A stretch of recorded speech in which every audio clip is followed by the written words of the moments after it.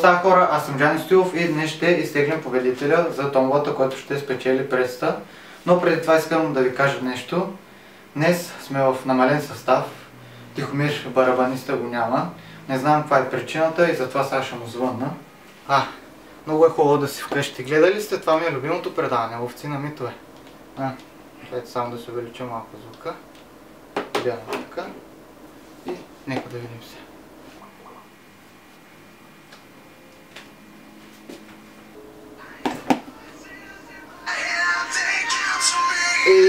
Шефа ми звъни. Сега няма да си гледам предаването. Ало? Тихомире, какво правиш бе? Как си? Що не си на работа днеска? Ами не съм много добре, шефе, боли ме главата.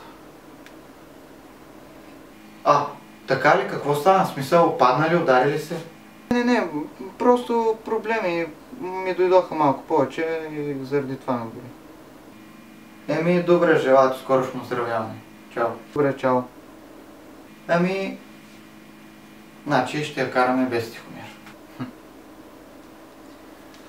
О, Саша, мога да си гледам предаването на спокойствие.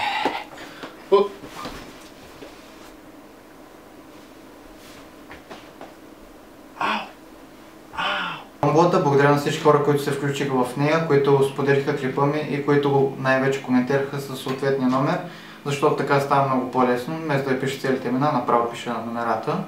И нека да видим кой е победителя. Нека да изберем това лище. И победител е номер 16. Момент само да фокусирам. Ето, номер 16. За да не кажете, че съм нагласил томбата, че съм написал само номер 16, ще ви покажа и други номера. Ето номер 38. Номер 62. И още едно ще ви покажа. Номер 33. Та отново честито на победителите, на победителя, тези хора, които не спечелиха да не се очават, защото ще има още много награди и такива неща. И ви обещах в миналия клип, че ако събера 60 споделяния, ще ви разкрия фокуса с кутийката и ще го направя в неделя. Очаквайте видео.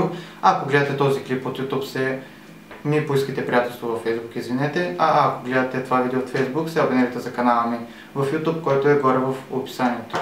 Довиждане и до скоро!